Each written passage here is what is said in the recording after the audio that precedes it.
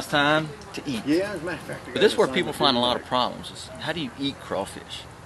Well, we're gonna we got a few people, and we're gonna we're gonna see how they peel crawfish, so that you know what to do the next time you're at a crawfish boil.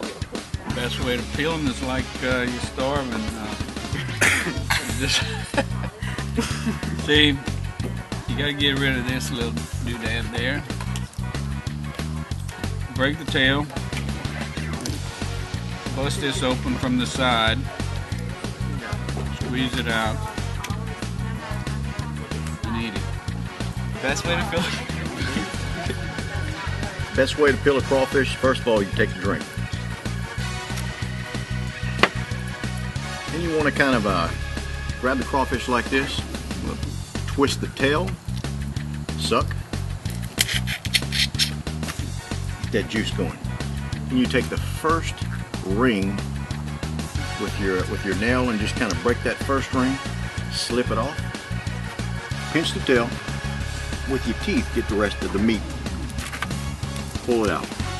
All good. The best. wants to come back to you? The best way to peel a crawfish is to have someone do it for you. Let me tell you how you eat a crawfish. You lick the, the seasoning off first, break the head off, make sure you get the sauce inside, peel it back, pop it in. It's nothing to talk about. You just do it. No, I saw you. Now I like to dip mine in a little vinegar with a little seasoning in it and just. I'm mm. with it. With or without the camera, so it don't make no Best way to eat a crawfish, twist it, break it off from the body. Some people like to suck out the juice, but I don't. I just like to peel the top part off, squeeze the tail, pull it out, and there you go.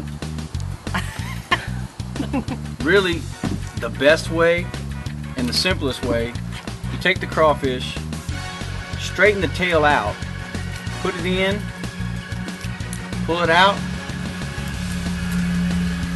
boom. Just like that.